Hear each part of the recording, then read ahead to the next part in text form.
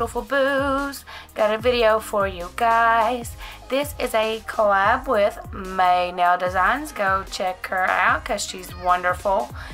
But I just recently did these uh, bean red nails. So what I'm going to do, if I can, if I possibly can, is I'm going to transform these nails into longer nails or or I'm going to file this down and apply on top of this and use it like a uh, like a, a tip you know I mean like a tip. So we're gonna see if I can work around this and create a set but this set will be a 3d set um, that I'll be doing. So stay tuned and watch